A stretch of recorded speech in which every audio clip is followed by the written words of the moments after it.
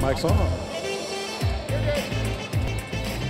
All right, it is time for the tip-off. That means we get to talk a little hoop. I'm joined by well, one guy that's here quite a bit, another guy that's actually here quite a bit too, but in a different capacity. This is Henry Turner, of course, on a Flashback Friday, and on our very left, former Sacramento Kings, 2005 to 2010 Kenny Thomas joining us here on the tip-off. I love it, man. I love a Flashback Friday where K9 gets to be in the house. Well, you got two number nines here. I man. love that too. That's I love double that nine. Too. How you feeling? You doing okay? Let's. I know you, uh, we see you down here baseline. You get to soak up some of these games. You got a business not far away that's doing great. How's Kenny? How's Kenny Thomas doing these days, man? Man, I'm enjoying life.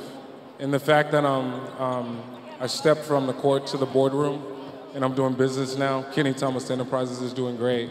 And like you say, I got a restaurant called El Rey. It's on 7th and K Street. You guys got to come out and check it out. There, El you Rey, hear him already. 7th Look at everybody Street. cheering. They're wondering why you didn't bring tacos for all of us, Kenny Thomas. Come on, man. Oh man, there's a lot of people in here. You're right about that. You're right about that. trying to make money We should go. We'll get tacos later tonight. That's right. On K9. On his bill. Of course. I mean, why not? Hey, so it is Flashback Friday. We thank you both for joining us down here. I know Fresh is already up near Digital HQ. He is talking to some fans. They're rocking the retro. Fresh, what's happening up there, buddy? Yeah, that's right. A lot of great stuff's happening up here. We're all excited for Flashback Friday, and it's great to see Kenny Thomas in the house. I do want to confirm with Kenny. He said I could have free uh, free tacos for life at his restaurant. Oh, wow. So if you could get verification on that, I would be very happy because I'm hungry right now. Uh, anyway, we're having a great time up here. Uh, we're hanging out at Digital HQ, presented by Panasonic. Now we talk about this often. We say swing by Digital HQ. But what really happens here? Well, I'm going to show you. It's actually really interactive. So right now I'm with my friend Andrew Nicholson. We're going to make a GIF that's going to get tweeted out. So we're going to do it right here. Anybody's welcome to come on over. You can animate yourself. So I got some crazy Kings fans over here, and we're about to go live in three, two, one, and there we go. and there it is. Look at us. We just became GIFs. So if this is something that you'd like to do, swing by Digital HQ presented by Panasonic. There's a lot of great stuff going on over here with our digital team. Check it out. Back down to you, Moke. All right. Oh, and Fresh, I, I just tried to confirm the free tacos for life. we're going to have to talk more about it, so unfortunately. But what, hey, what we're also going to talk more about, Kings basketball. Obviously, this team, two in a row, Henry Turner. I mean, that's a, eh, look, I mean, if you're looking for some positives, we've seen it these last couple games from the Kings. Do you agree? Right, Scott. It seems like the basketball team are finally starting to get things together, starting to understand one another. Coach Joerger is still working on his uh, rotation out there, but you're starting to see a lot more ball movement, a lot more player movement out there. So seems like the guys are starting to get it together. They still have some work to do. It's not quite there. You know, they have Matt Barnes in the starting lineup now. He's really helping those guys along as far as being a leader, and uh, it seems like they're starting to get everything moving. when we talk, we're seeing a lot about, hearing a lot about identity, chemistry, K9. Those are words that you know. You played on a lot of different teams for a lot of different coaches. How do you, how does the team start to develop the identity and chemistry that ultimately makes them successful? Yeah, it's hard because the coach is the one that determines how everything happens. And the fact that I had 10 coaches in 11 years, it can be hard.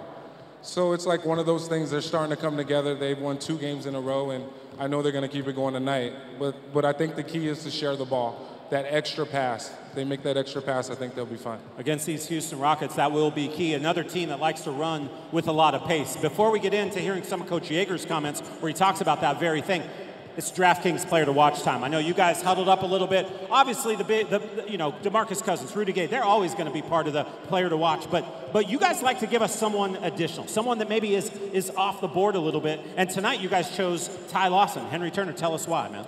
Right, Ty Lawson's starting to get it together. You know, he's starting to find himself. Very good player, point guard, facilitating the offense and getting guys involved. Starting to get his shot going. He's getting his confidence going. The Sacramento Kings are really going to need this guy because he's going to be that X factor as far as knocking down three pointers from behind the arc and just keeping everything spread for the rest of the players. Kenny Thomas Enterprises, what do you feel like is what is Ty really contributing to this team specifically when he is on the floor for the Kings? I mean, he pushes the ball very well. He sets the tempo. So if he continues to do that and get in the paint and find the open guy, but once again, it's always about that extra pass. Um, I guess I could become a coach, I guess, at some point. But You look the part, man. You look the I appreciate that, but I mean, nice. if they make that extra pass, everything will be fine. Okay, well then you heard, heard Ty Lawson tonight's DraftKings player to watch. Now, as I said, we're going to go in. Coach Joerger just a little bit ago talked about how the chemistry and identity of this team that you guys have been talking about is maybe starting to come together. Let's take a listen. We're getting better. Um, you know, played uh, some really good teams, and uh, we've played better uh, as of late. Uh, Toronto was a, was a good get for us, and then uh, had a good professional uh, win, I think, against uh, a good Oklahoma City team on the second night of back-to-back. So uh, played from the lead, kept the lead. Uh, a lot of guys contributed, and you know we're trying to find. We're, we are starting to find a, a nice mix uh, of chemistry between different guys that are playing together at different times. All right, so the team, the team's got to steal one tonight, obviously against this pretty good Houston Rockets team. You know, this is the, the after tonight.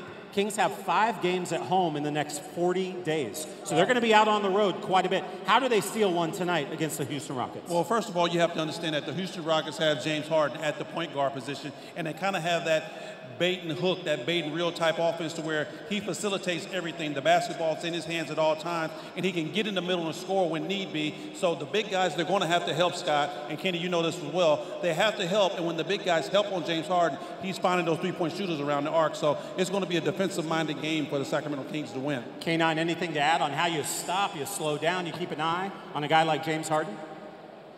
Good luck. Good luck. I mean, the guy's an all-star for a reason.